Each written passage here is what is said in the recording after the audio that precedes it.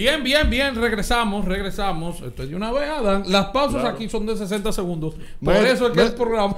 Me he dado cuenta. Por eso es que el programa se llama Deporte de 60 segundos para lo que me preguntan. No hay por más nada. Pero recuerden, señores, que las pausas son de 60 segundos porque usted quiere. Porque eh, por aquí usted puede, ¿verdad? Anunciarse y nada. Puede anunciarse y solamente tienen que escribirnos y por ahí nos ponemos de acuerdo por el Instagram o por los comentarios eh, de YouTube. Adam Soriano.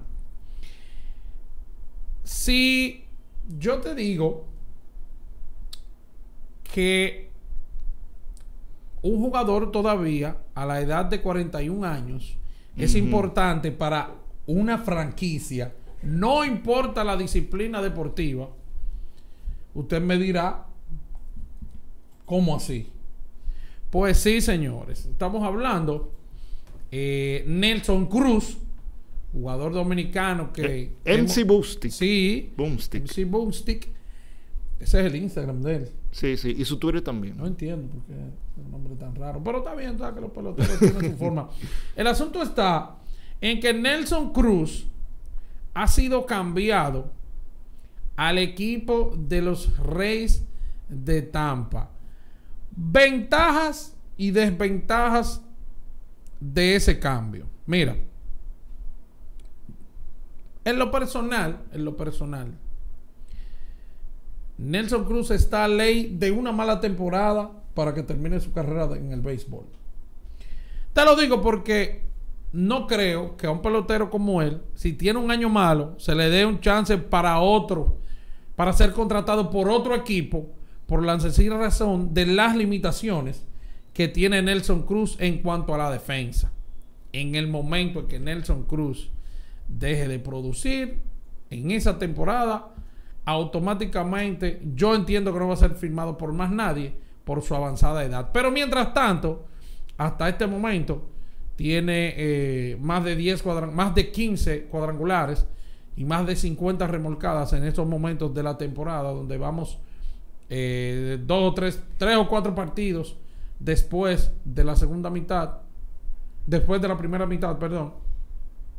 Y estamos hablando, señores, de un Nelson Cruz a un productivo, pero sobre todo va a un equipo de Tampa necesitado de bateo de poder. Ese era el jugador de poder que necesitaba el equipo de Tampa tener en el medio de esa alineación que siempre hemos hablado de lo débil que es.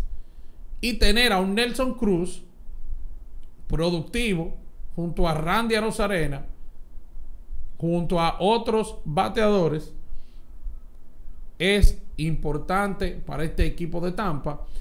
Eh, fue entregaron dos promesas del picheo para recibir a Nelson Cruz y entiendo con esto que los Reyes de Tampa están contando con esta temporada para tratar de llegar lejos con ese bate de Nelson Cruz. Adam Soriano. Sí, mira, decir que Nelson Cruz tiene en la temporada 19 honrones y tiene, vamos a ver aquí, a- a- a ver, 53 remolcadas. 50. Ah, 50. 50 remolcadas, bateando 2.94. Y un OVP, agárrate bien de la silla, de 3.70 y un slogan de 537.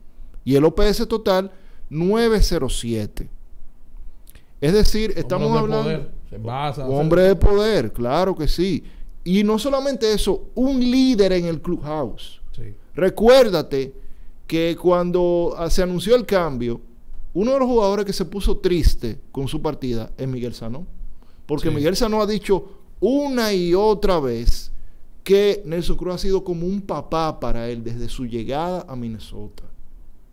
Entonces, los Rays de Tampa Bay abastecerse de un bateador de poder como Nelson Cruz pone a temblar a los equipos de la división este de la Liga Americana, léase Boston y los Yankees, que son equipos que, que si bien es cierto que Boston ha estado compitiendo casi durante un buen tramo de la temporada y está casi encabezando la división eh, del este de la Liga Americana, no menos cierto que todavía le hace falta armas. Y Boston va a ir detrás de armas. Va a ir. Ahora, la pregunta es, ¿lo harán los Yankees?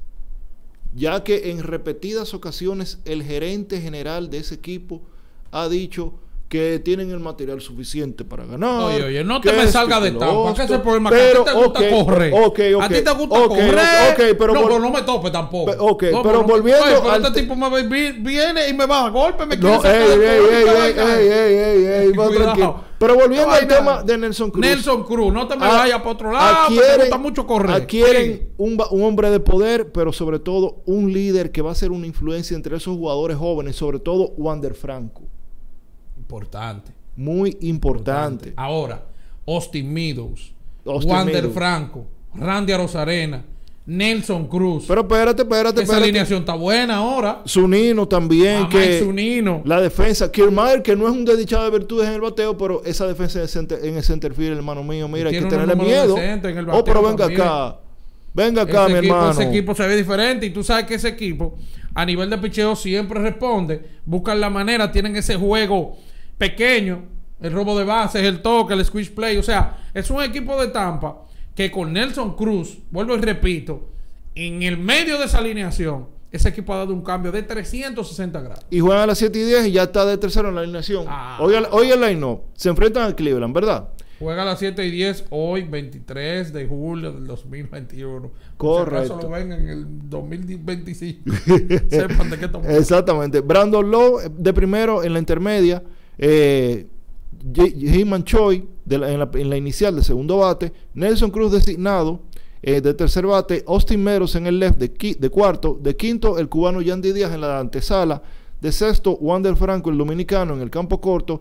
Randy Rosarena de séptimo en el right field, el cubano Kiermaier, Kevin Kiermaier de octavo en el center field, Mike Zunino de noveno en la receptoría. El lanzador va a ser Josh Fleming. Fíjate de eso, esa alineación se ve bien.